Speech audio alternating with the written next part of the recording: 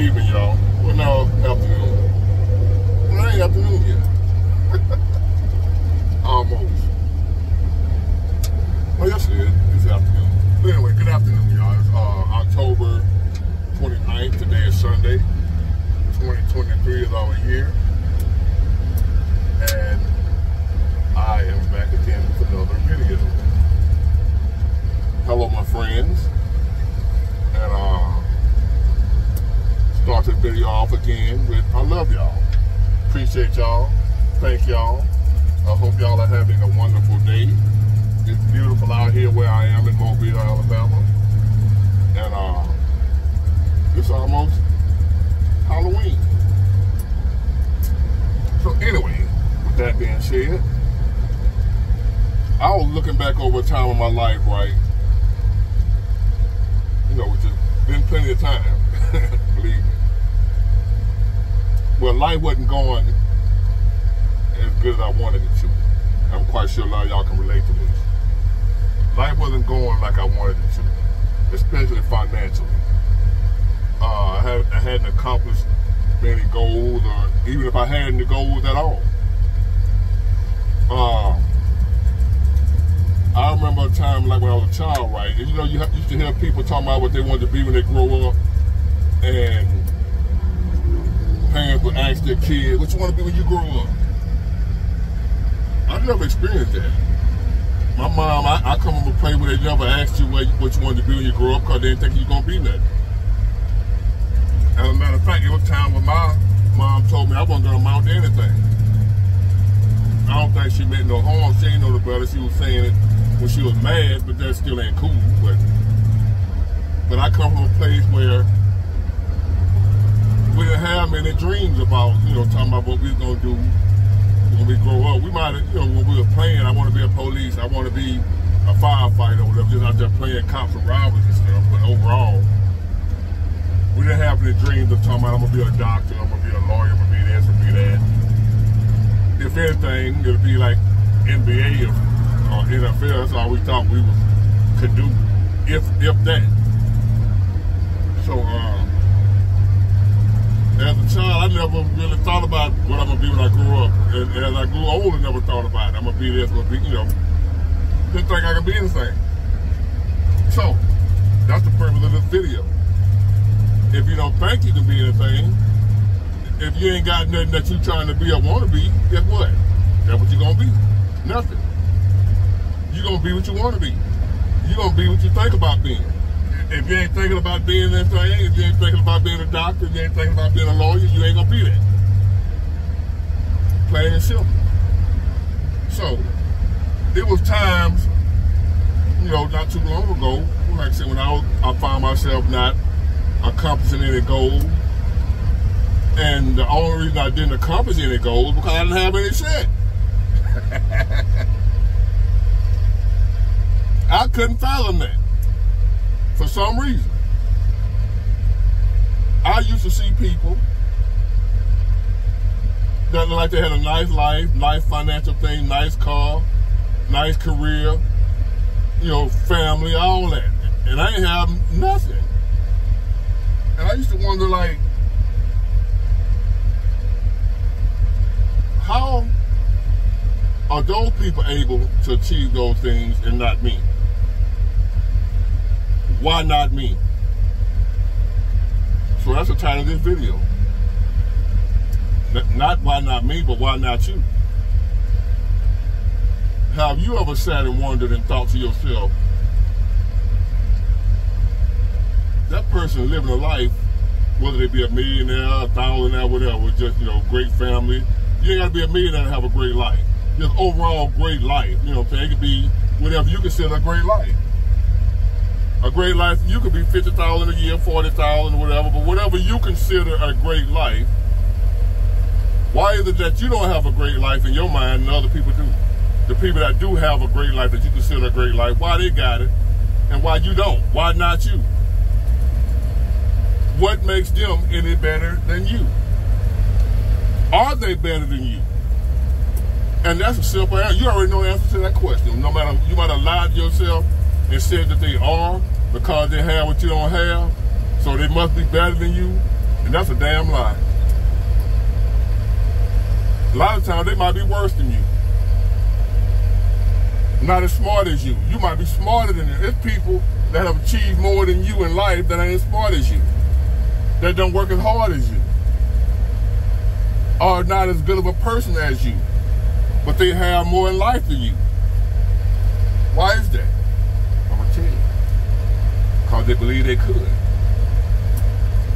What you achieve ain't got nothing to do with how good you are how smart you are, how much better you are than other people. What you achieve in life is based on what you believe you can achieve, nothing else. Preach, preacher. what you have in life, what you achieve in life, ain't based on how good you are at anything. There are people extremely talented, especially where I came from. You talking about Michael Jordan, is the greatest basketball player of all time? No. He's the greatest one that you know about because he actually did what he needed to do. There are people that you never seen that never made it that are much better in basketball than Michael Jordan. But Michael Jordan actually did what he needed to do. Talent, it ain't all about talent. It ain't all about talent. It ain't all about how smart you are. It ain't all about none of that. It's all about belief. Do you believe you can do it? Because if you don't believe you can do something, you ain't gonna put forth the effort to do it.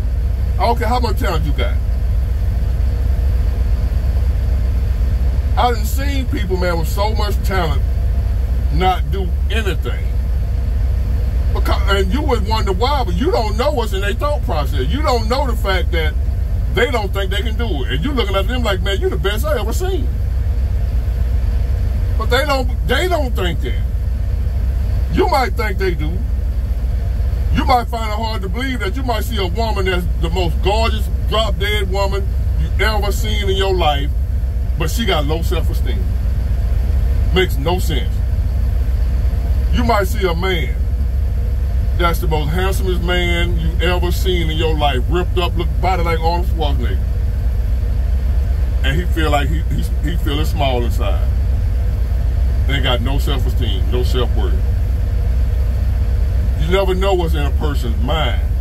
It all starts with your mind. Without your mind, you have nothing as a human being. God gave every existing life form or, uh, or species a, a strength. Say an elephant, his strength is his size. A lion, his strength is his teeth and his claws. So forth and so on. Every species has a strength that makes them able to survive in life. God didn't give us the physical strength he gave a gorilla or the strength he gave an elephant. The strength God gave us is our mind. We're the strongest mentally. That's why we run it. That's why human beings are the top species. So you got to get your mind right before your life get right. Cause that's our strength. It's not even though I'm at the, I'm at the gym now, but my strength ain't lifting them damn weights. My strength is my mind. I got big and strong because I thought I could. If I, so, therefore, when I thought I could, that made me go to the gym because I think I could get big and strong. If you don't think you can be a lawyer, you ain't going to law school. If you don't think, you don't be a lawyer because you go to law school. You be a lawyer because you think you can be a lawyer. You don't be a doctor because you went to medical school. That ain't what makes you a doctor. Medical school don't make you a doctor. Medical school just give you the credentials. What makes you a doctor is the fact you thought you could be a doctor. Why not you? That's why not you. Because you don't think you can. You you think other people are better than you when they're not. You think other people have achieved more greatness than you because they're greater than you, but they're not. They only just thought they could. That mind you got in that head of yours, and I got a big old head. That mind you got in your head, your, your head ain't got to be as big as mine to be as smart as me. the humor there. That head you got on your shoulders, that brain you got up in there, that is the most powerful thing in existence that God created on this earth. But we ain't using it, most of us. Most of us are using it against ourselves. When you tell yourself you can't do something, you can't do it. That mind ain't gonna let you do it. That, that mind ain't gonna think of no way of doing nothing because you done told yourself you couldn't. If you think you can't, you can't. If you think you can, like a little engine that could, I think I can, I think I can, I think I can, I think I can. Next thing you know, I know I can, I know I can, I know I can. Next thing you know, I'm doing it, I'm doing it, I'm doing it. It all started with I think I can. I promise you, y'all, listen to me, please. You can do anything you think you want to. You can anything you think you can do. You can do it. I ain't telling you what I heard. I'm telling you what I know. I'm riding on this car, man, a dude that ain't have 52 quarters of work rubbed together. I'm in a $40,000 classic. People offer me money for I ain't selling. They offer me what I want for it, but hey, it's appraised and a set at $40,000 right now. They ain't finished with it. I have two nickels to rub together not too long ago. What happened with my life, what transformed my life, was I was on Netflix about to cancel my subscription because I ain't like none of the bullshit movies on there, right? Tell you how God work and faith works, right? What changed my life, my thinking process. I was about to cancel the subscription. I was just scrolling through. This been about eight, nine years ago, if not longer. I was scrolling through and saw a movie called The Secret. It just jumped out at me. What's this about? So I looked at it, checked it out, and they'll teach you about the power of the mind. As a man thinking, so is he, just that type of stuff. The law of attraction. What you think is what you are. What you believe is what you have. It all starts in the mind before it starts in the world.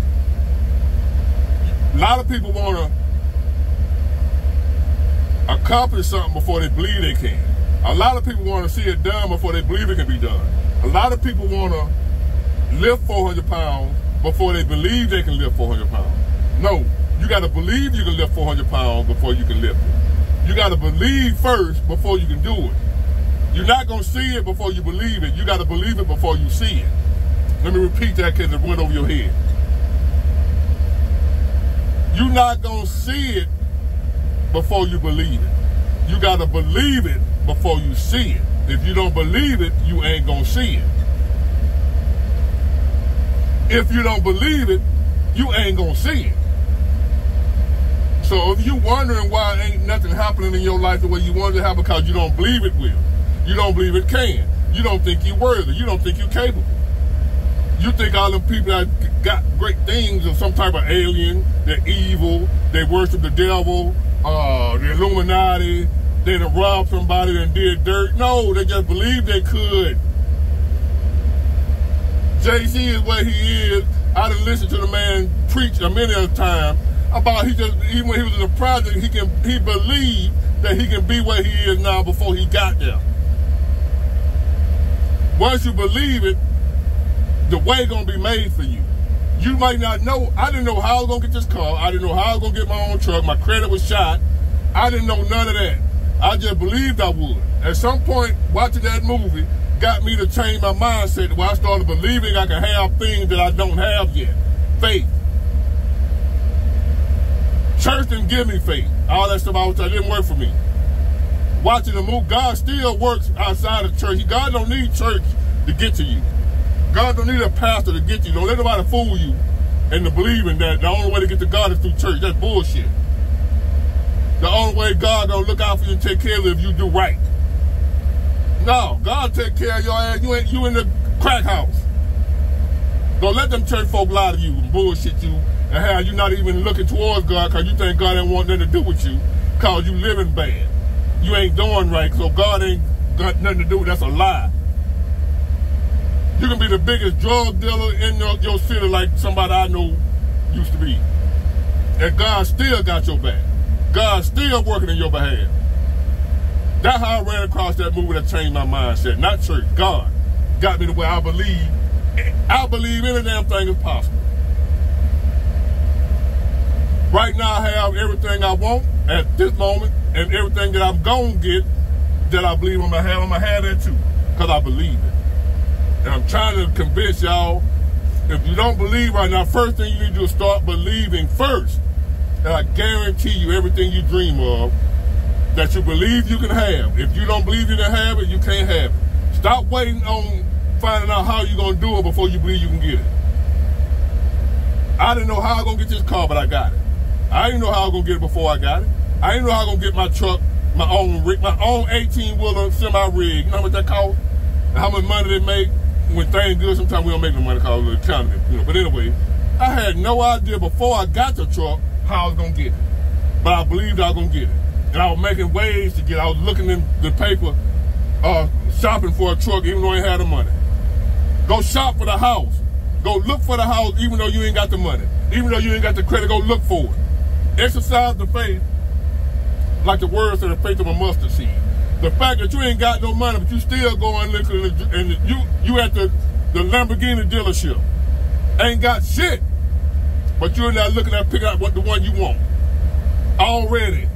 That's what I'm talking about. I was shopping for a rig when I ain't got no credit, no money. And guess what I got now? My own rig. I'm telling you, baby, it worked. Faith is so powerful. I, I, I didn't believe it. Church made me not believe it. Experiencing in real life, for real, for myself, I believe it. That mind, that faith. I didn't know how I was going to get this car. I'm in a $40,000 right now praise and I ain't through with an old school classic. 66 Mercury Park Lane. My insurance policy praised at 40 grand. So some, so I ain't worried about nobody stealing it hitting it, none of it. If somebody hit it or steal it, I'm $40,000 richer. Immediately. I ain't worried about none of that. I didn't know how I was going to do this. I just, I wanted it. I started believing I can have it. So I started looking at places that's going to paint my car when I get it. I ain't had it yet. I'm already trying to see who's going to paint it, who's going to do my interior, who's going to do my top. Before I even had the car, I didn't even know what kind of car I was going to get. I just knew I was going to have an old school convertible. Just didn't know what. And here I am. I ain't bragging. I'm trying to tell you how this thing called faith works. Believe it before you see it, and you will see it. I promise you, Big Ward telling you that. Now let me go in the gym and finish looking like an Adonis. Holler at y'all later. Have a blessed Sunday. I love y'all. Appreciate y'all for subscribing and rocking with me. I got plenty more to come. We're going to be on this thing for as long God allow me to live. Bye-bye, y'all. Nah, that ain't man. Bye.